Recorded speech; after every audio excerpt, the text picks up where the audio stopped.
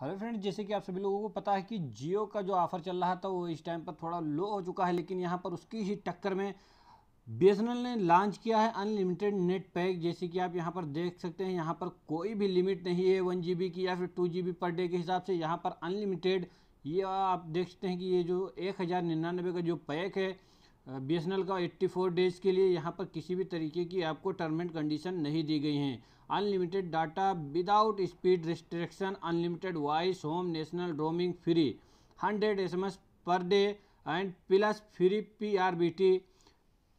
यहाँ पर आप देखते हैं कि किसी भी तरीके की आपको टर्म एंड कंडीशन नहीं दी गई है, यानी कि आपका नेट वन जी के बाद में स्लो हो जाएगा या फिर लो हो जाएगा।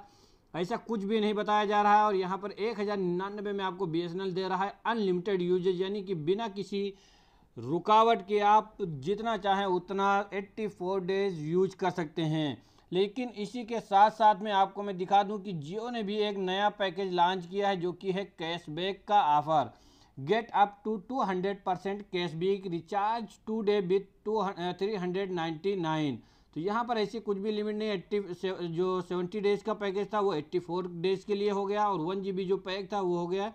One point five G B यानी कि डेढ़ जी का पैकेज है। Jio cashback voucher worth four hundred अगर आप थ्री हंड्रेड नाइन्टी नाइन का रिचार्ज करते हैं तो आपके जियो वॉलेट में फोर हंड्रेड रुपया का कैशबैक आ जाएगा। लेकिन इस कैशबैक का इस्तेमाल सिर्फ़ आप जियो के ही वॉलेट से कर सकते हैं, अलग नहीं कर पाएँगे किसी भी तरीके की शॉपिंग पे।